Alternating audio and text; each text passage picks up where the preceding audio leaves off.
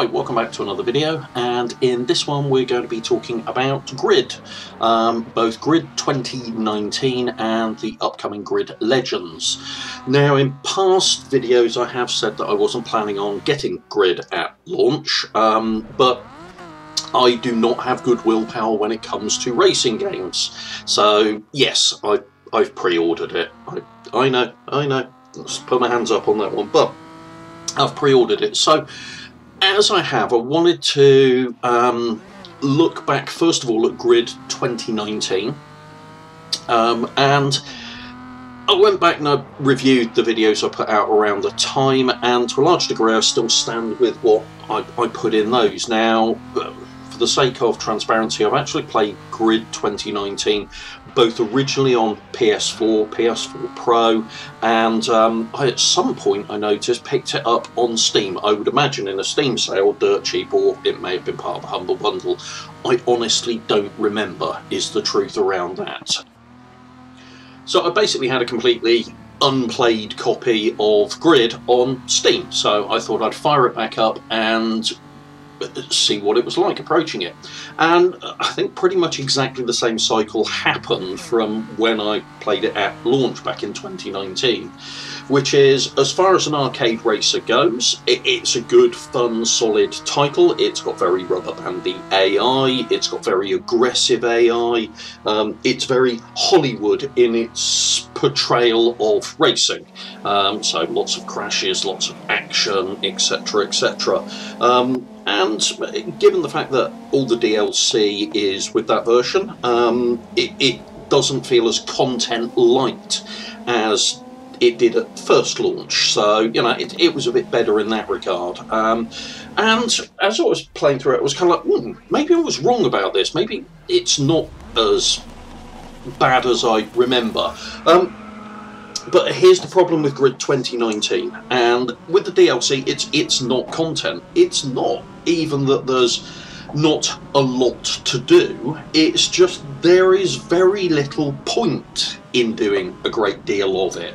Um, the progression's fairly slow, and all it really does is on unlock stuff for the sake of unlocking it. There is no real progression. Um, and that may sound a little odd and a little ironic given that most of the pure sim racing titles, for want of a better way of describing them, that I um, entertain myself on, you know, AMS2, Project Cars, Assetto Corsa, have either no um, career mode or career structure to speak of at all, or a very light and pointless one that actually makes Grid 29 look in depth. Um, and yeah, that is ironic. But what they've got is a real depth of the physics and handling model around them that makes up for that, for me anyway.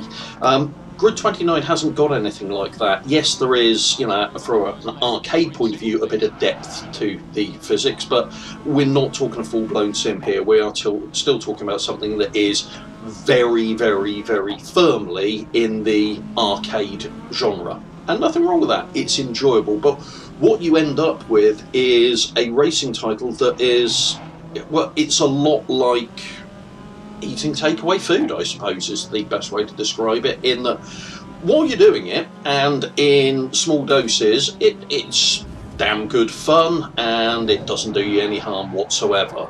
Um, but the second you try sustaining yourself long term on it, it just starts getting very shallow and very empty, and you get the feeling that you could probably be off doing better things with your time. Um, and that still resonates because when I first played Grid 2019 and put out my initial impressions video, it was kind of like, yeah, this is great fun, absolutely loving it. And about a week later, it was kind of like, yeah, but there's not really a lot drawing me back to keep playing it, and and that feeling still remains with Grid 2019. So on to the upcoming Grid Legends.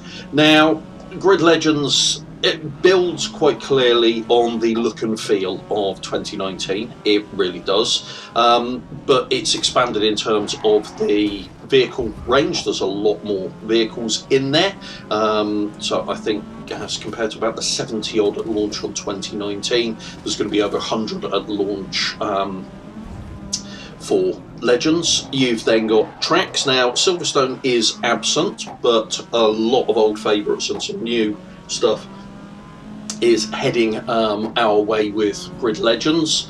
Um, in particular, Okutama, which I, for a fantasy track, is one of my personal favourites, not just in the Grid series, but full stop. It's a great little track.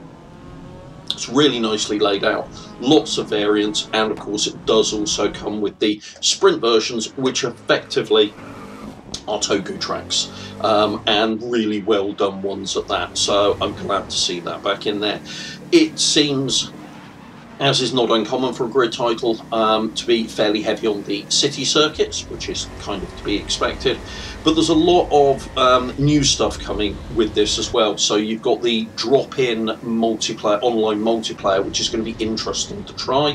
Where um, when you're racing online in Grid Legends, it's always a full grid because anything that isn't filled with human opponents um, on the internet uh, racing against you is filled with AI bots, and somebody can join a race mid-race and they will effectively take over one of the AI um, slots. Uh, and also, if they decide to rage quit, exactly the same thing will happen. The vehicle will not disappear, it will be taken over by a bot. So it will be interesting to see how that works. Um, and you technically can race online against nobody else because AI will fill the entire rest of the grid for you if you want, and you then can gradually fill it up as the race goes through. So it will be very interesting to see how that goes. Um, but the main change is around the actual story for the single player.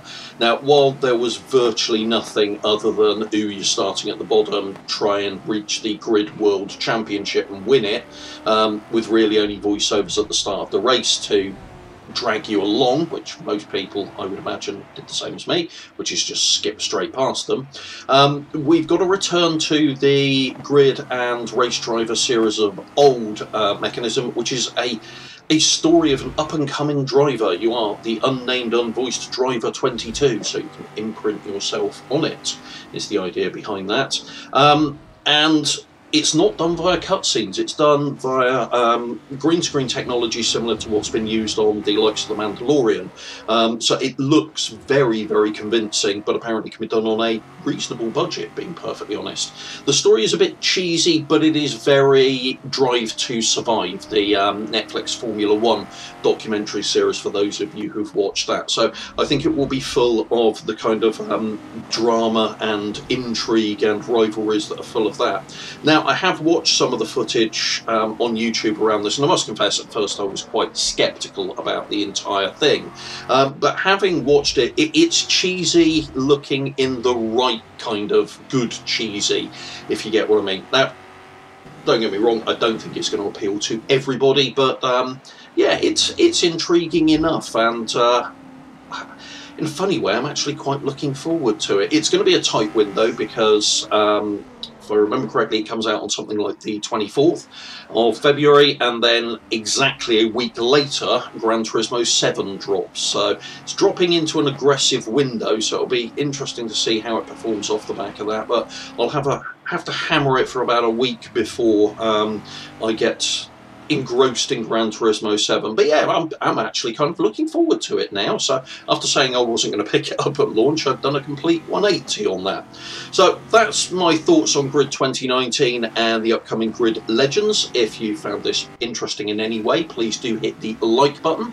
And if you want to see more content like this, please do subscribe to the channel and hit the bell icon if you want to be notified when new videos get uploaded. Thanks very much. Take care. Bye.